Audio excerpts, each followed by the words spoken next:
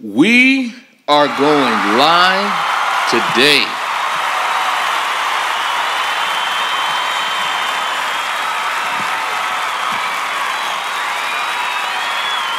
And we are going to another topic. Today, we're going to be talking about how Jesus is not God. We really want to deal with that. We really want to deal with that. A lot of our people are worshiping the creature more than the creator. All right? And I want to read Isaiah 9 and 6. This is the book of Isaiah, chapter 9, verse 6. For unto us a child is born, unto us a son is given, and the government shall be upon his shoulder, and his name shall be called Wonderful Counselor, the Mighty God, the Everlasting Father, the Prince of Peace. Now, these titles, okay, are very important titles, okay? And I want to get the other scripture, okay? And this is when the name Emmanuel is mentioned.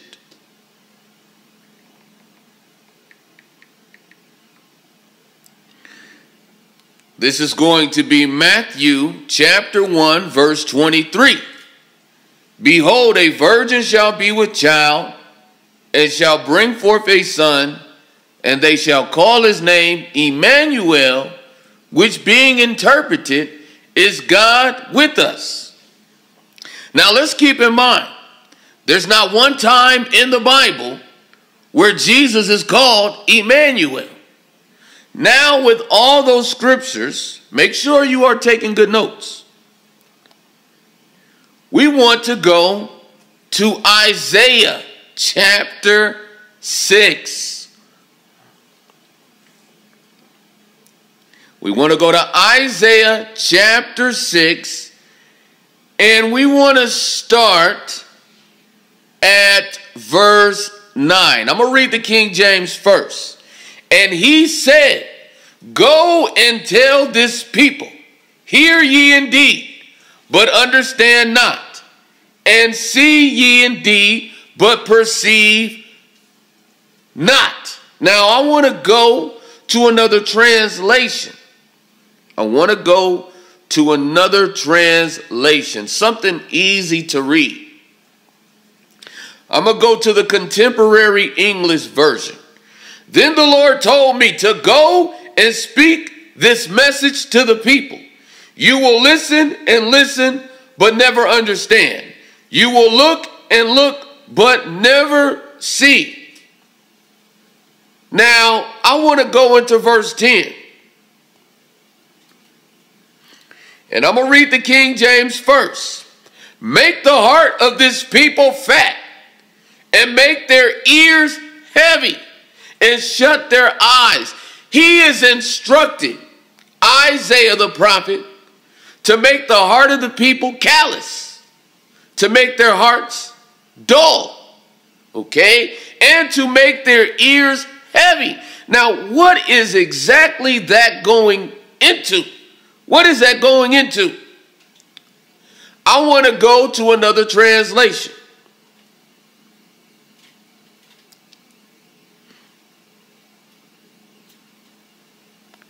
God's word translation. Make these people close minded, plug their ears, shut their eyes. Now, he is telling Isaiah, he's telling Isaiah to plug the people's ears. Now, this is this is some deep stuff right here. He's telling Isaiah to make these people's ears heavy. Now, I want to go to some additional translations and get further understanding on that.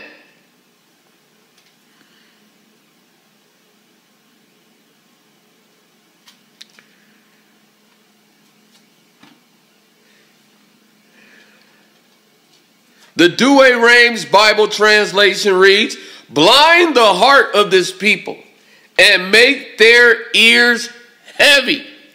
Now, this is the same book we just read.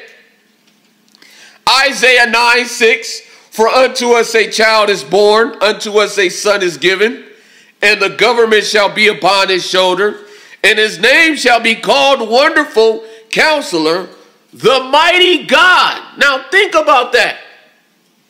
Isaiah was told to make the ears of the people heavy.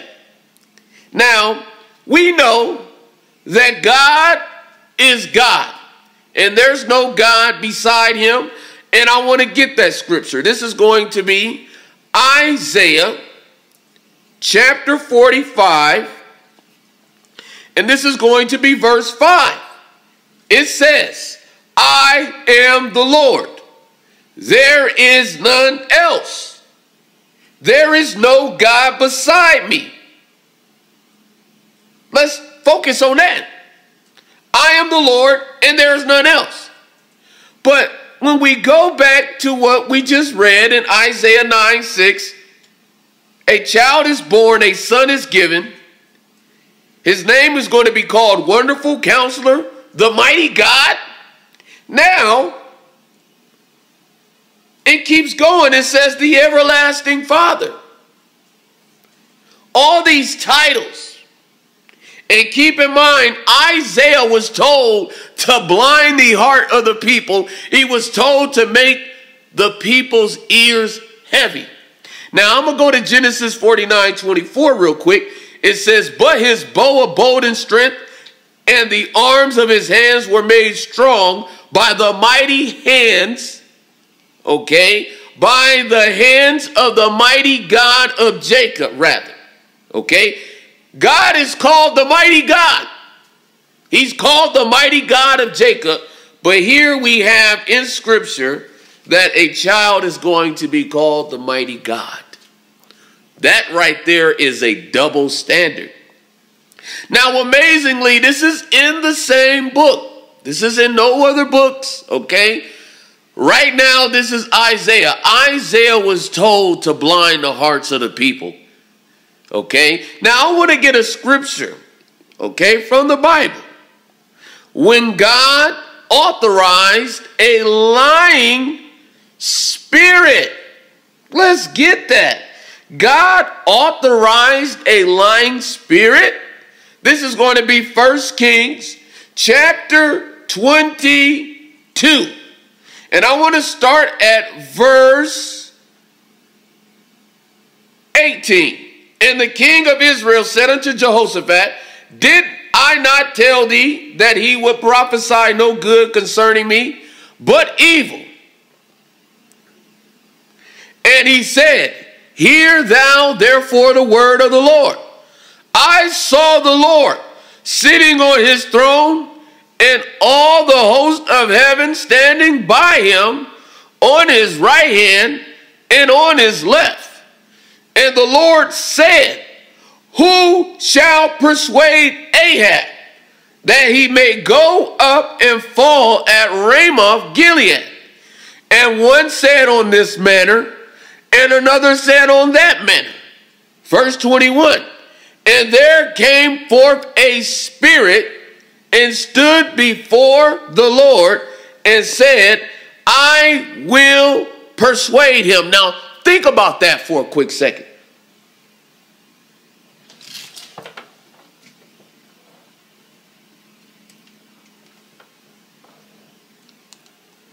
Just think about that for a quick second. Now, verse 21 And there came forth a spirit and stood before the Lord and said, I will persuade him. Verse 22 And the Lord said unto him, Wherewith? And he said, I will go forth, and I will be a lying spirit in the mouth of all his prophets. And he said, and he is God. God said, Thou shalt persuade him, and prevail also. Go forth and do so. Verse 23 Now therefore, behold, the Lord hath put a lying spirit in the mouth of all these thy prophets. And the Lord have spoken evil concerning you. So here we have in Scripture God authorizing a lying spirit. Now we know that God creates good and he creates evil. The Bible says, I, the Lord, do all these things. Okay? Many people want to cherry pick the Quran with the scripture that says Allah is the best of schemers, the best of planners. But they love this translation that Allah is the best of deceivers. And here we have in the Bible, in the Christian's Bible, where God is authorizing a lying spirit. Now we got to go back to Isaiah. Now, Isaiah is talking about a child that's going to be called Emmanuel. He's talking about a child that's going to be called Mighty God. He's talking about a righteous servant whom is going to be made a offering for sin. So the strongest scripture the Christians have about Jesus being crucified is in the same book Isaiah was told to make the ears of the people heavy, to make their hearts blind. Okay? So the strongest evidence you have of Jesus being crucified is with the same messenger.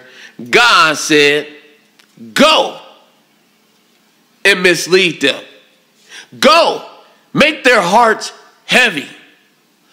Go and darken their eyes. I'm going to get there for you. I'm going to show you more scripture on that. Okay? This is going to be Psalms 69, verse 22. Now, this is the King James Version. Let their table become a snare. Now, let's find out what a table is, okay? Because many people want to play dumb to what a table is. Now, this is going to be Habakkuk chapter 2, verse 2. And the Lord answered me and said, Write the vision and make it plain upon tables, that he may run that readeth it. So we understand that tables were things that God wrote words on. Remember, he gave Moses tablets of stone, okay? He gave him tablets of stone. So we understand that a table could be a reference to a Bible, to a book, to a scroll, to a tablet. Okay? So now we're going to get back to where we was at.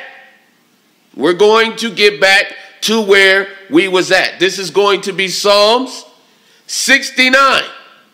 And this is going to be verse 22. Let their table become a snare. A snare is a trap. A snare is a trap. And that which should have been for their welfare. Now, many people call the Bible basic instructions before leaving earth. That's what they call it. Okay? So the Bible, okay, that is supposed to be used for your welfare. That same book, okay, that table could be, okay, made a trap. As we keep going, we'll see. We'll see if this lines up with what he told the prophet Isaiah, peace and blessings be upon him. Verse 23 Let their eyes be darkened, that they see not. Now, if I'm reading the Bible correctly, God is telling Isaiah and he's telling David, okay, let their eyes be a trap. Okay, they gonna see something and it's gonna trap them because their eyes are going to be darkened. This was David's prayer. Okay? And this is exactly what Isaiah was told by God to let their eyes be darkened, that they see not. Now I want to go to another translation. I want to go to another more plain translation. All right? This is going to be. Mm, I want to go to the New Living Translation. Nah. Let's go to the English Standard Version. Let their own table before them become a snare. And when they are at peace, let it become a trap. Okay? This is going into deception. Now remember, we just read about Ahab being deceived, and God was asking, How can we persuade Ahab to fall? And a spirit came forth and said, I will be a lying spirit in the mouth of all his prophets. Now, let's go to Numbers chapter 12 real quick. Let's go to Numbers chapter 12. And this is going to be verse 6. And he said, Hear now my words. If there be a prophet among you, I the Lord. See, I love scriptures like this. I love scriptures where I know it's God talking. Okay? I love scriptures that say, Thus saith the Lord. I love scriptures that say, The Lord hath spoken. I love concrete evidence that is the Most High speaking. Okay? Because everybody does not believe everybody.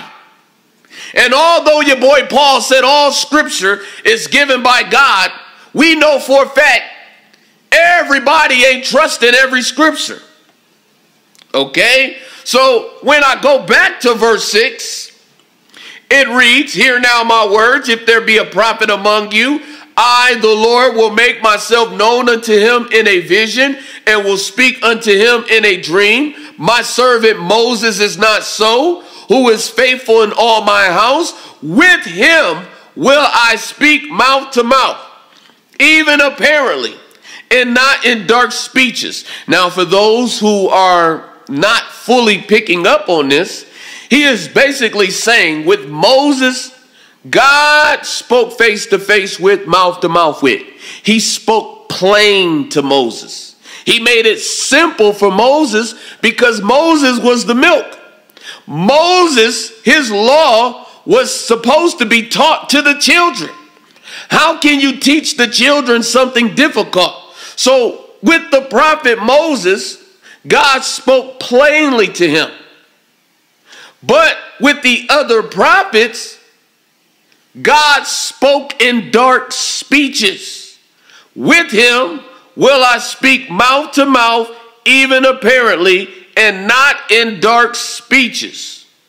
And the similitude of the Lord shall he behold Wherefore then were you not afraid to speak against my servant Moses? So, God Almighty, He spoke in dark sentences and He spoke in parables. And I want to get that scripture. He spoke in parables. This is Ezekiel chapter 20, verse 49. Then said I, Ah, Lord, they say of me, doth he not speak parables? So God spoke in parables through all the other prophets. He spoke in dark sentences. But with Moses, he spoke plain. Okay, he spoke plain with Moses. So when you go to Isaiah and when you go to Amos and when you go to all these prophets, when you go to all these prophets, all you're doing is listening to dark sentences. You're listening to parables. You're listening to something that is not plain. All right? So, with all that being established, we're going to go to the famous scripture. This is going to be Isaiah 53:10. Yet it pleased the Lord to bruise him. He hath put him to grief. When thou shalt make his soul an offering for sin, he shall see his seed. He shall prolong his days. And the pleasure of the Lord shall prosper in his hand. Now, this scripture is the most famous scripture for Christians. In believing that this is talking about Jesus. Jesus' name is not mentioned in Isaiah 53. The Messiah is not mentioned in Isaiah 53. Son is not mentioned in Isaiah 53. Isaiah 53, whether we like it or not, is a dark sentence. It is something that is not specific. This is the reason why the Jewish community today believe that if this is read in Hebrew from start to finish, it is speaking of the nation of Israel as a whole and not a individual. Okay? But you have a free right. You have a free right to hang yourself. You have a free right to take this scripture and interpret it and interpret it any way you want to. Although Jesus' name is not mentioned anywhere in there. Okay? And mind you, this is the same prophet who literally was told to make the heart of these people fat, okay? To make their ears heavy, to darken their eyes, lest they see the truth and be converted. Dealing with this topic now, we talked about how God spoke plainly to Moses in Numbers 23 19, it reads, God is not a man. Let that sink in. This is coming from the prophet who was on the mountaintop with the Most High, who seen God's back, okay? Whom God said he spoke plainly with. This man literally is telling us, and matter of fact, God wrote this with his own finger. God is not a man that he should lie, neither the Son of Man that he should repent. So God is telling you number one, he's not God, and number two, he's not a liar. He's not a man, and he's not a liar. He's telling you this. Moses is telling you God is not a man. What's your problem? What is your problem? He's telling you plainly, God is not a man. Now keep in mind, Jesus did not call himself the Son of God. Jesus called himself the Son of Man. Jesus called himself the Son of Man more than anybody. Okay? I challenge anybody. And matter of fact, let me put this number in the chat real quick because we are live and I get excited, but I'm not losing my my place, okay? The number is on the screen 661 597 2376. If you got issues you want to call in, call on in. Keep in mind, Jesus called himself the Son of Man more than any other prophet in the entire Bible. He identifies himself as the Son of Man because he wants you to go to Numbers 23 19. God is not a man that he should lie, neither the Son of Man that he should repent. Have he said, and shall he not do it? Or have he spoken, and shall he not make it good? So, number one attribute about God is that he's nothing like his creation. God is not a man. I want everybody to say it with me real quick. Hold on. Let me get y'all unmuted real quick. I want everybody to say it with me. God is not a man. God is not a man. God is not a man. God is not a man. God is not. God is not. The Son of Man. The Son of Man. He's not. He's not. Now I'm gonna take you to a. Oh yeah, I like that. I like that. I like that. Yeah. Let's put that in there.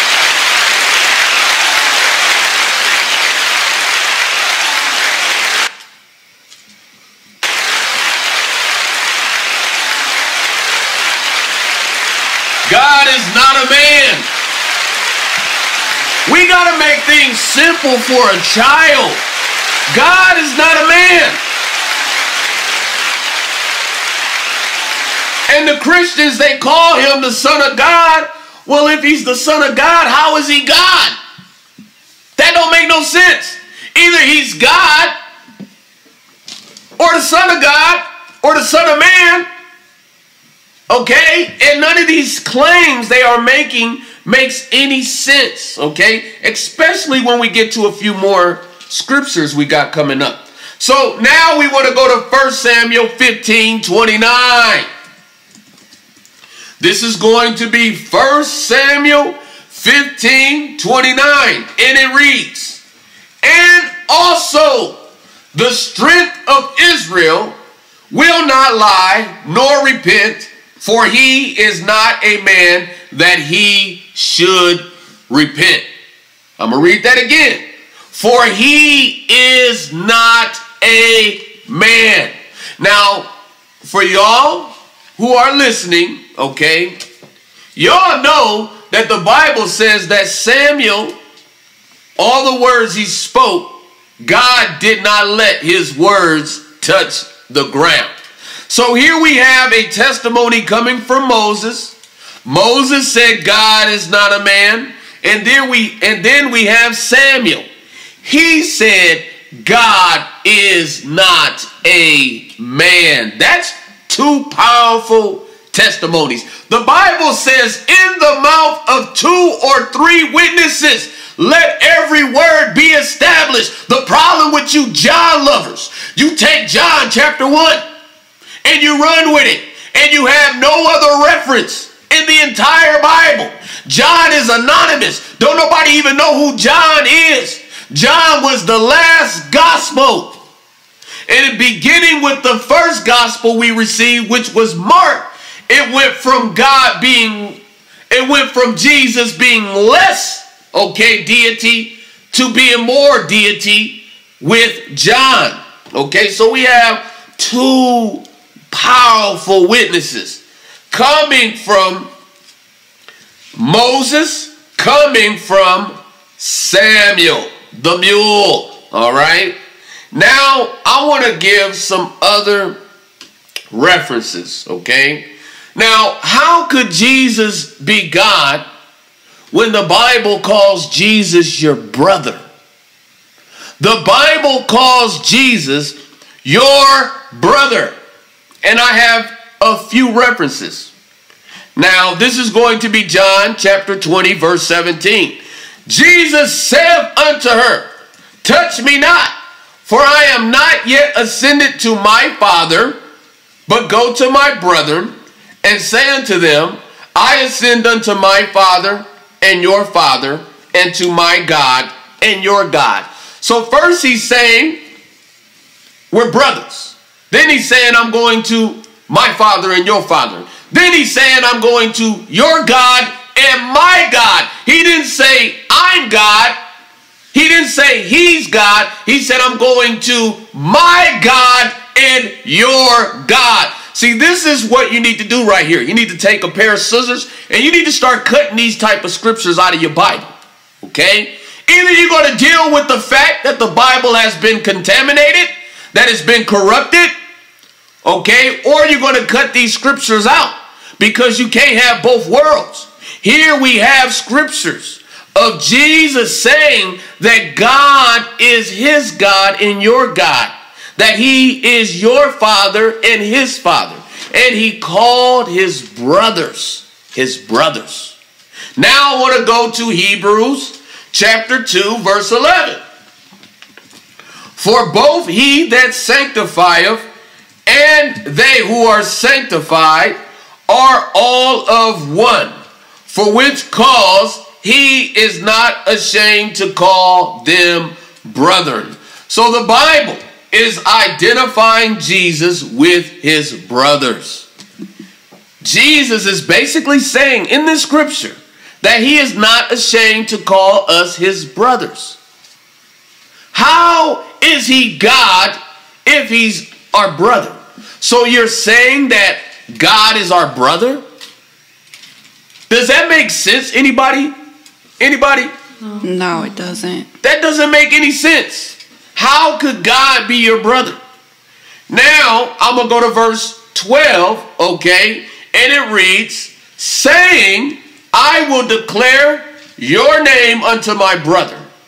In the midst of the church will I sing praise unto thee. So Jesus is saying, I will praise you, God, in the presence of my brothers. So Jesus is praising himself if he's God. Okay, these are huge contradictions. You can't have both. You got to pick one.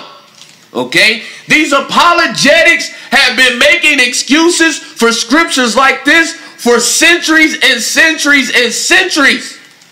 The fact of the matter is, there's Bible corruption going on because Jesus is saying, I will praise you, God, in the presence of my brothers.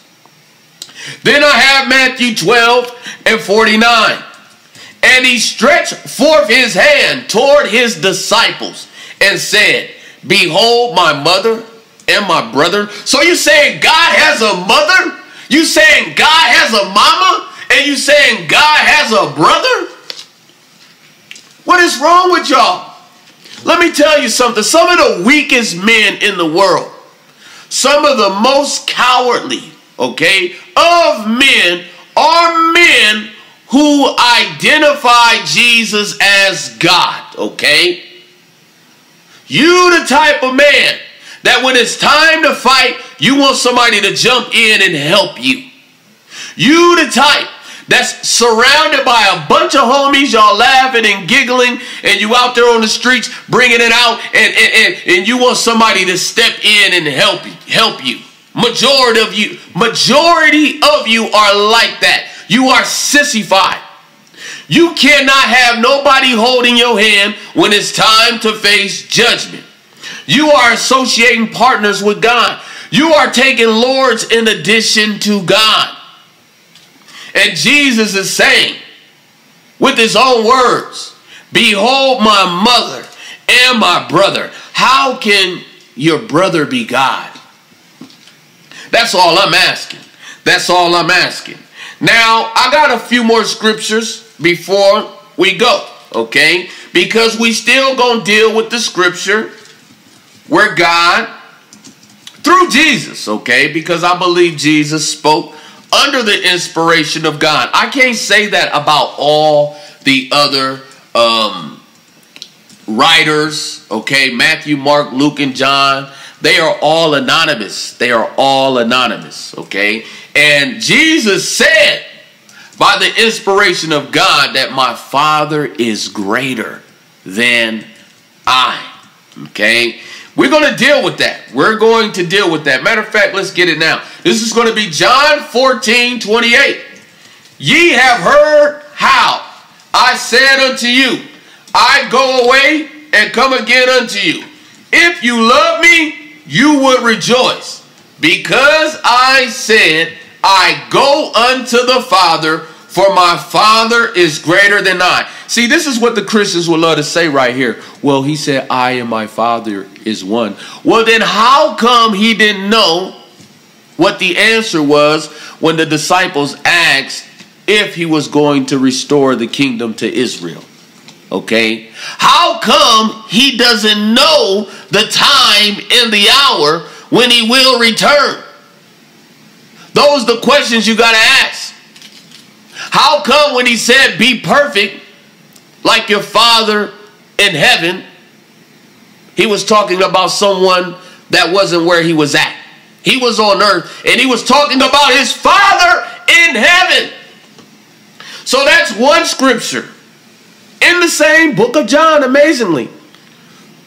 The same book of John, the Christians, man, I'm telling you, there John is the Christians' Moses, okay? That's their Moses. They believe God literally wrote the book of John with his own finger. Now I want John 10 29. My Father, which gave them me, is greater than all, and no man is able to pluck them out of my hand? No. He said, out of my Father's hand. You are misinterpreting when he said, I am the way, the truth, and the life. Okay? When Jeremiah was on the scene, he was the prophet whom God's anointing was on. And if the children of Israel would have listened to Jeremiah, they never would have went into captivity. In Ezekiel's day, he was the way, the truth, and the life, okay? He was the messenger of the hour. And when Jesus came, he was the messenger of the hour. But Jesus spoke of a comforter. He spoke of someone that would come after him. It wasn't a ghost, it wasn't a spook. He used the word advocate, he used the word paraclete. He was speaking of a human that would come after him. And we know from the scriptures, Genesis 49 and 10, that the prophet Muhammad, peace and blessings be upon him, is the Gentile messenger that is sent as a mercy to all of humanity. Get mad and get mad. Okay? So we dealt with the scriptures where Jesus is confessing that he is not as great as his Father. Okay? And we have more to get into. Okay? We're going to pick back up because we are at 30 minutes. But I'm going to let the, the floor be free for those to speak. We're going to pick back up on this. We're going to deal with some more evidence from the Bible pertaining to how Jesus is not God. Okay, you a man worshiper. You a man worshiper. Okay, and that's what you got to deal with. You got to deal with the first five books of Moses, and Moses is going to witness against you because he told you in plain English, God is not man. Tear that out your book. Go to 1 Samuel chapter 15 and tear that out. The strength of Israel will not lie, for he is not a man. Tear that out too. When Jesus said that his Father is greater than him, tear that out too. Okay? In John chapter 20, when he said, I go to my God and your God, tear that out your book too. All right? Now the floor is open for someone to speak on how they believe Jesus is not God.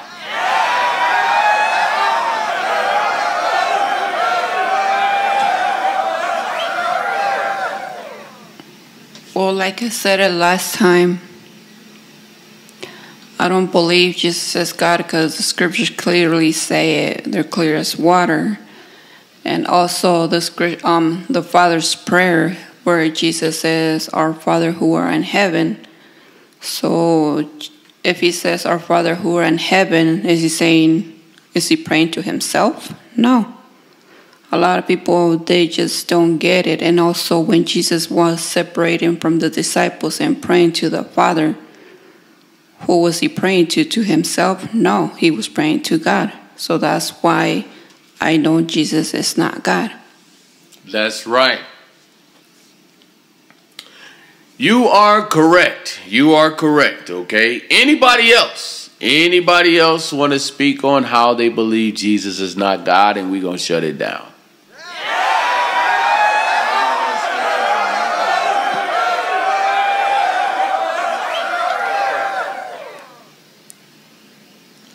Well, there's a lot of scriptures in Matthew and throughout all the Gospels that just shows that he's always mentioning God and not himself. He's always saying the Father, the Father, the Father. All right. So simple for a child to get it. Now we about to shut it down, y'all. It's about that time to get in these scripts. Is y'all down or not? Yes. yes. yes. yes. yes.